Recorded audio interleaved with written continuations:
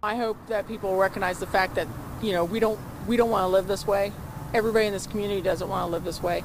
So we need everybody needs to step up. Well, we begin tonight with breaking news. A shooting inside Castleton Square Mall. Police confirm that a person was shot and injured inside the mall earlier tonight. No one is in custody. We have also confirmed that IMPD officers are investigating two deadly shootings. These are just a few of the several shootings investigators are looking at right now, but we want to start with that shooting at the mall. It happened just before 7:30 tonight.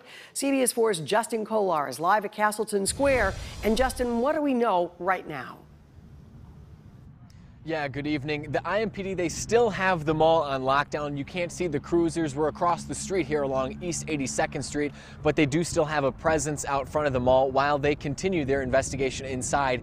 We spoke with IMPD about an hour ago. We'll have we'll listen to them in just a couple minutes here, but we do know that the shooting happened in the inside of the mall, the near the south entrance, and we'll uh, listen to IMPD about those hectic moments after the shooting. Initially, people were running out of the mall people were um, trying to get away from the area, which I understand for safety reasons. Um, shortly thereafter, we were notified of a walk into Community North of a person shot. Um, after detectives spoke to that person, we learned that he he had been shot here at Castleton Square Mall. Dozens of shoppers, for the most part, calmly left the building, but some, closer to the shooting, fled for their lives. Lori Flecker was sitting down in the food court around 7.30 tonight, enjoying dinner after shopping.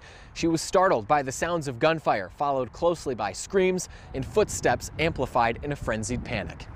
I heard a lot of screaming, and then from the main area of the mall, just droves of screaming people came running into the food court, and everybody was like, get out, run. And so I just hopped up, left, and ran out of the building. You know, it's just sad. Everybody's got their beef for whatever reason, but you know, it's like keep it keep it w- with the person that you're upset with. Don't take it to a public place where there's elderly people, children. You know, moms were grabbing their babies, and it, it was just it's it's so sad.